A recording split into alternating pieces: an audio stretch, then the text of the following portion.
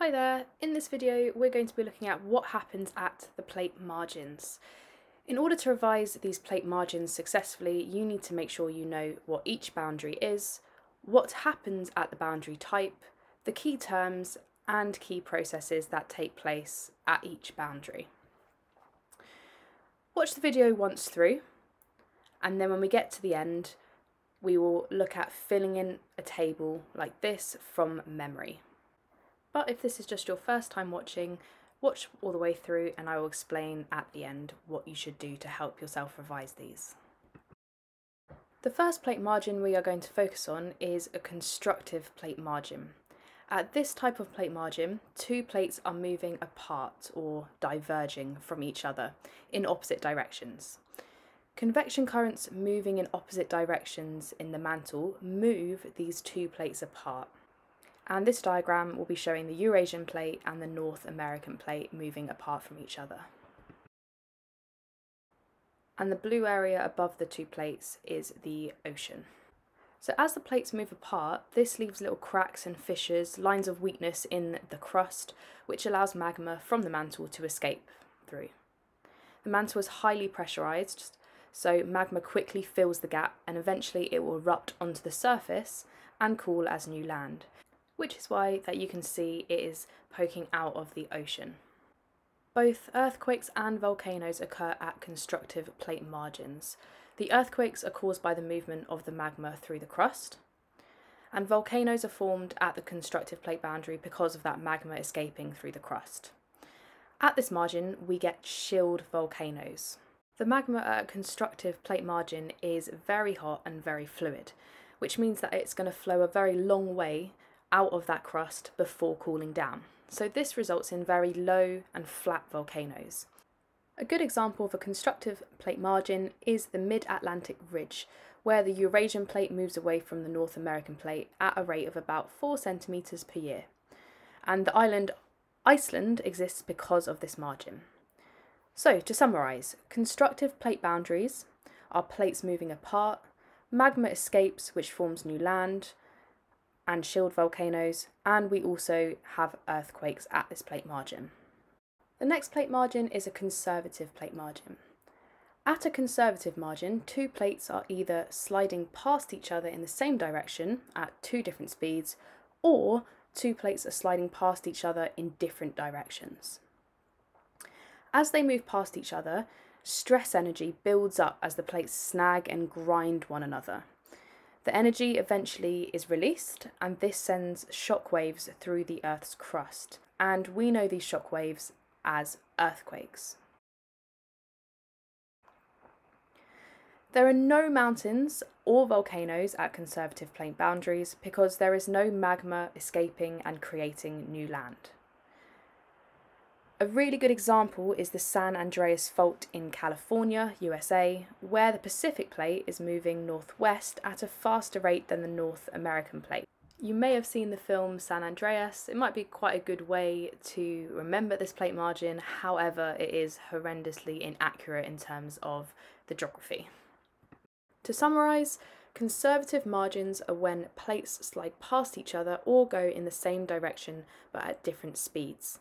We get earthquakes due to the friction, build-up and release of energy, and there are no volcanoes or new land created because there is no magma released. We are now going to look at what happens when two plates move towards each other. Destructive plate margins are when two plates move or converge together and we have the destruction of Earth's crust as a result. This usually involves an oceanic plate and a continental plate. As we saw in the previous video, the oceanic crust is denser and continental crust is less dense.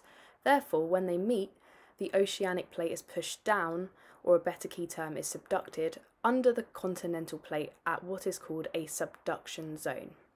This normally causes a deep trench where those two plates meet.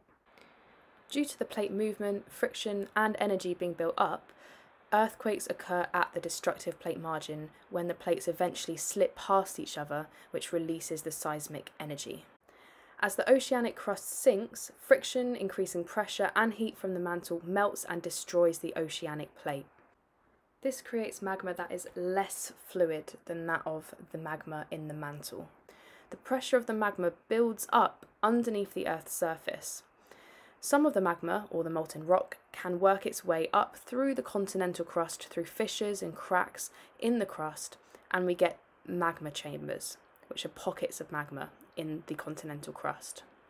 When it escapes through these weaknesses, it rises up through something we call a composite volcano. Composite volcanoes are different to shield volcanoes because they are steep sided as the lava doesn't flow very far before it solidifies. The volcanic eruptions are often very violent with lots of steam, gas, and ash. The hot gas and volcanic matter that erupts out of the composite volcano is called pyroclastic flow and it reaches speeds of up to 700 kilometers per hour. This is often the main cause of death when there is a volcanic eruption. There are several there are several great examples of destructive plate margins including along the west coast of the Americas and Japan where the Philippines sea plate is pushed under the Eurasian plate and there is one in this diagram which is the Nazca plate subducting under the South American plate. So to recap, at a destructive plate margin, this is where an oceanic plate subducts or sinks underneath a continental plate. At a destructive plate boundary, we get composite volcanoes and we get earthquakes.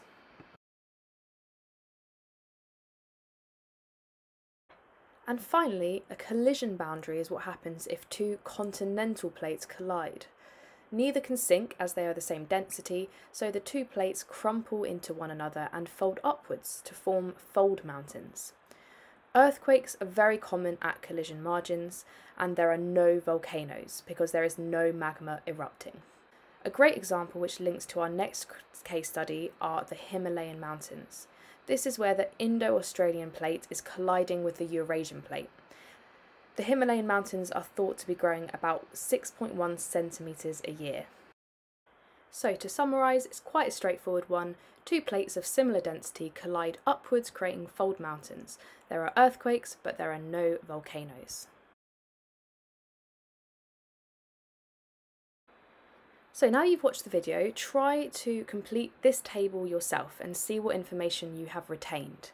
Once you've done this, watch over the video again and complete the table with any information that you couldn't recall or that is missing. Remember you need to include a clearly labelled diagram. You need a description of the main features, so these are your key points about the margin.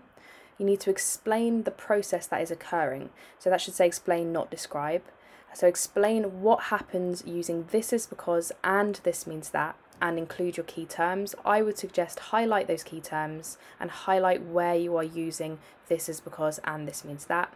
And finally, make sure you've given key examples of named places and named margins for each of those plate margins.